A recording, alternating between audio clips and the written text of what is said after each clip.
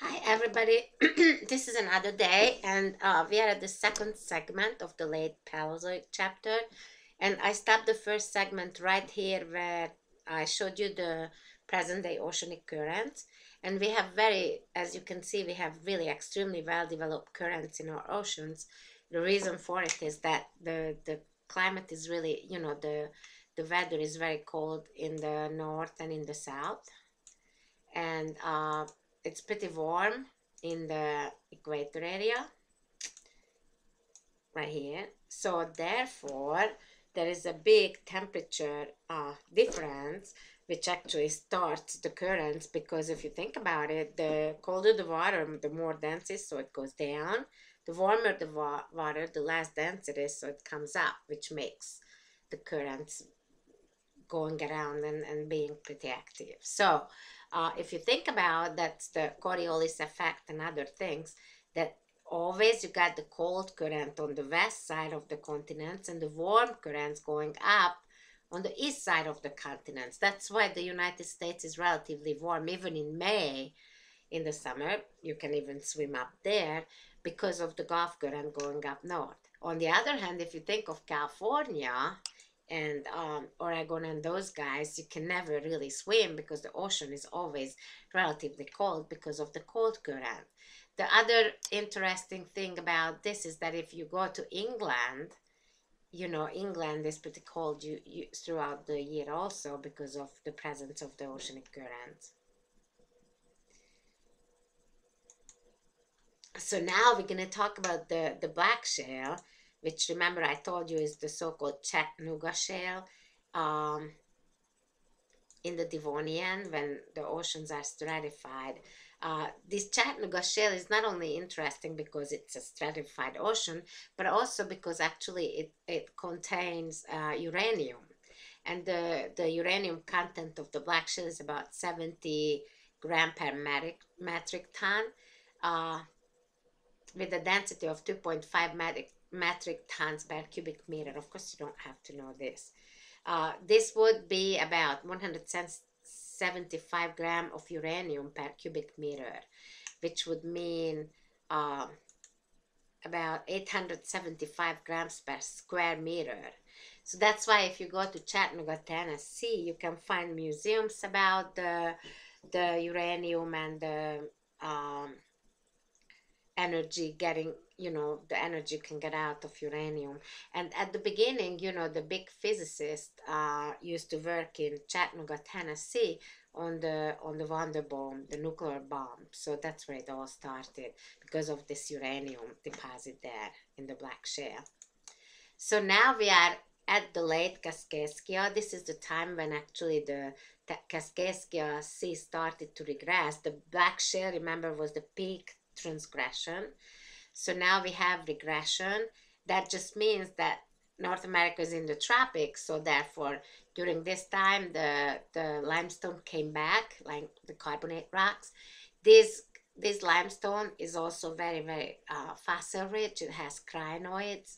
You can see these these white little things, and a lot of if you look at it close up, most of the grains in this rock is crinoids, but it also have oolitic limestone and dolomite.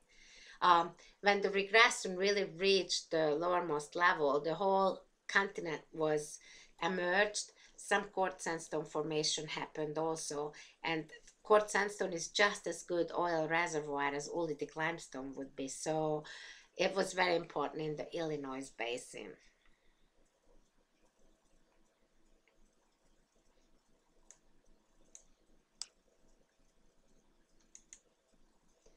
Uh, the next segment is the Absaroka.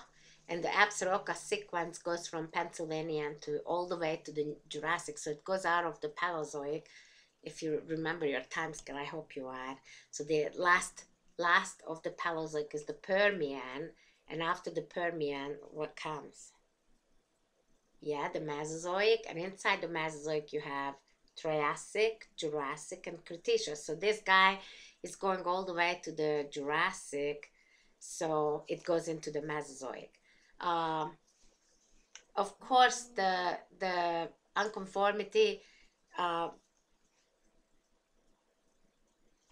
uh, the unconformity between Kaskaskia and Absaroka will divide the Carboniferous into Mississippian and Pennsylvania because it happens just right there. Uh, it already the Foreland Basin already started before, but by this time it's really well formed. It's major. Um, so it defines the whole Appalachian area at this time. So here is the Absaroka geography and you can see that this is this huge, huge mountain area right here and the Foreland Basin is right around this area in North America.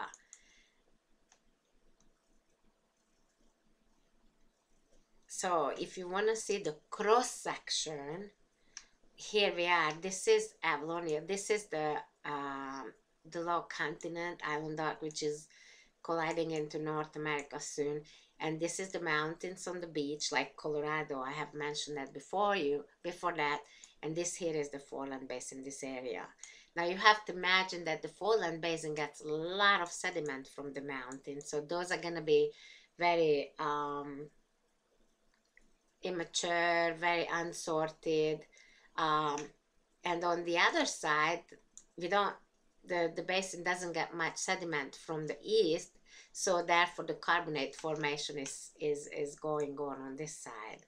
But on this side, you have to imagine there is a lot of influence from the, from the mountains, but also this is the time when actually the Gondwana area is down south, so we have an ice age. Uh, and because of that, the sea level changes are pretty prominent and it's very, very, very frequent. So we got uh, frequent sea level changes here and that really influences the, the cyclothems of this time. So as I just mentioned it, if we want to talk about the sedimentation in this foreland basin, then on the east side we have fast subsidence and cyclothems are, are uh, forming, where on the west side uh, it's gentle sloping and the carbonate deposit deposition is, is still going on. Uh, as I said, we have to talk about the cyclothems of this time. Ooh, I closed up on myself. The cyclothems. The cyclothems are basically alternating marine and non-marine deltic sediment as the result of the sea level changes. I just told you all this. So I want you to imagine being in Everglades. You all know where is Everglades. It's in Florida. It's a swamp. It's a coastal swamp and where coal is forming as we speak. Okay, here is Everglades. What happens when the sea level goes up? You're right, Everglades become under under the seawater because it's higher, so therefore it's going to flood Everglades. You understand? So it will be marine deposits on the coal. Now, what happens if the sea level goes down and it reaches where it is today? Yeah, the whole area becomes a swamp again. What happens if the sea level goes and drops? It becomes dry land. You're right. And then when the level starts going back again, you're going to have another swamp. And then it goes further down and you're going to have marine sediment. Then the level goes down, you're going to have coastal swamp. And then when it drops, it's going to be a continent. So I hope you understand every 20,000 year where the level went up and down, it produced a small amount of coal, followed by marine sediment, then some more coal, followed by continental sediment, followed by some coal. So all the Appalachian coal has all these layers, you know, so when they were mining for the coal, they had to deal with all these other rocks too, the marine and non-marine sedimentary rocks. Each coal seam was just some inches high, about this, like 10 inches high. Uh, so it's a very hard mining if you think about. And on top of it, all these coal beds got folded and faulted, you know, because of all the collision during this time. So when they do the coal mining, there's a lot of problems they have to deal with. Sometimes the coal beds are going upside down. Sometimes they turn around, they making um, anticlines, synclines. Then there is a fault. So there is a lot of problem with the coal mining. You got to understand that. Now this is the original sedimentation. So these are the swamp areas right here and between them you have marine and non-marine sediment. Depends on where the sea level is at the time. And you know if you look at later on with the erosion of streams and stuff this is how it looks like. And that's a typical coal seam right here. And if you go on 77 in west virginia you can see a lot of coal seam actually sticking out of the ground and this is just another way of showing the the this here shows you the sea level. And then you can see the coal seams like all over here. So I hope you understand the, the coal formation now. This is here another coal seam. And you understand that this Appalachian coal is everywhere. Uh, actually I it's in the Appalachian area but the formation of the coal happened during the Pennsylvanian I want you to remember not in the Mississippian it is in the Pennsylvanian. So remember, uh, coal formation in the Appalachians, the Appalachian coal complex happened during the Pennsylvanian. Okay, so you will remember this. I'm going to ask it on the test. Now, this coal is not from plants like you would think of today. These guys, these plants were actually ferns. I should write it here, ferns. And the ferns of this time were really like a forest. So you have to imagine those low ferns, which now underneath of the tree in the undergrowth, actually made the forest. So they were like 30 and more feet high. And this shows you a carboniferous forest actually. And this is the swampy environment. And as it gets covered up and it gets under the uh, sediments, it gradually will become better and better coarse. So at the beginning it's peat. And then as it gets more and more buried, it will become lignite right here.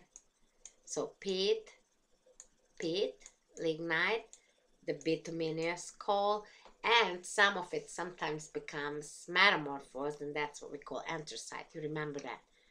Actually, this time was a major time for uh, coal formation and as you see this map, Scotese's map, it, it's really showing uh, all the low green triangles are showing the areas where you had major coal formation. Uh, the red triangles actually are showing rather dry climate areas with concrete or caliche soil formation. So the greens are all the coal formations during this time, the, the Pennsylvania and the Carboniferous. And now we're going back to our uh, sequences. But before that, you have to understand that all the continents are colliding. Now we are really in the late Carboniferous, so Pangea is very close to being um, finished. So you have to imagine that there is collision everywhere.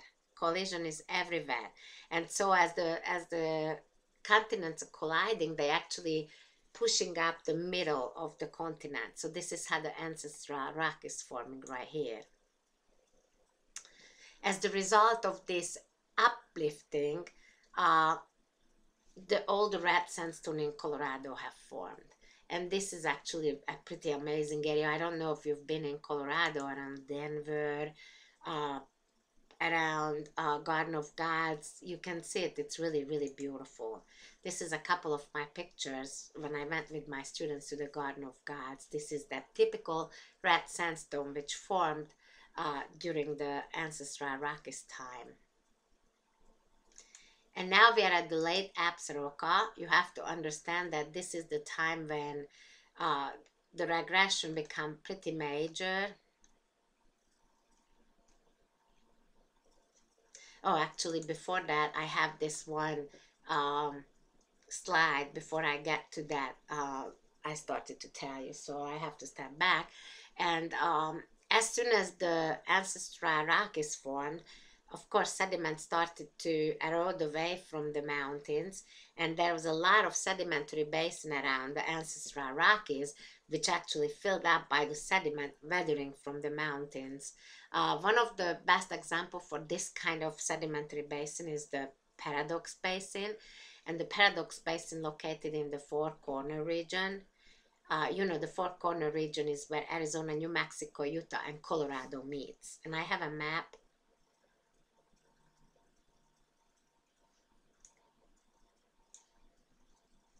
thought I had a map, but I don't. So it's in the Four Corner region.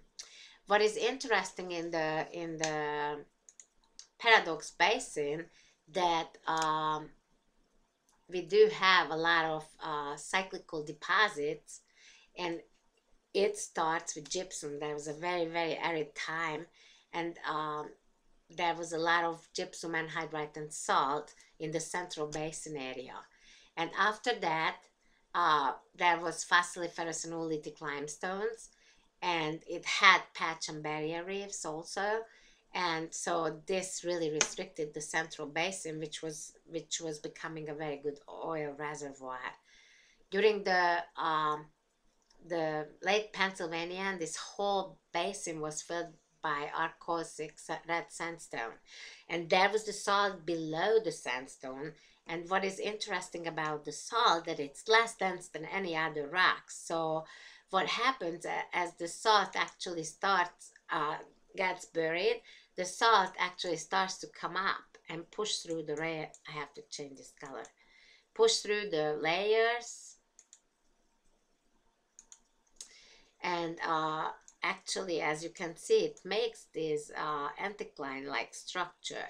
But really it's nothing but salt dome tectonic we call it salt dome tectonic. It's really amazing that originally the salt was layered down like that and then because the salt is less dense than the other rocks it just come through. It's pretty amazing and this is how the arches a lot of the arches have formed. This here is one of the famous delicate arch not one of the famous, the famous delicate arch. And right here we're sitting on one of these huge big uh, anticline which was pushed up by the salt underneath. And uh, as you can see right here, this used to be a big salt dome. But of course then it collapsed. This one is still a salt dome. This, this light shows you salt domes in other areas like in the Zagros mountain in Iran this is a typical salt dome right here and there is another one. You can actually almost see the salt in there. It's very very interesting. In the Gulf of Mexico we have a lot of oil reservoir related to to salt domes which formed during the beginning of the the Gulf of Mexico which was in the Triassic and Jurassic actually. So this here is the one which shows the four corner region right here See, that's uh, Colorado, Utah, New Mexico, and Arizona. That's the fourth corner, remember? I hope, I mean, you will remember. Uh, so this is Utah, this is Colorado, this is Arizona and New Mexico.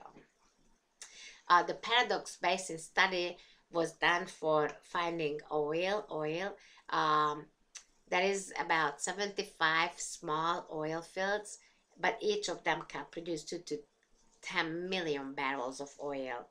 Uh,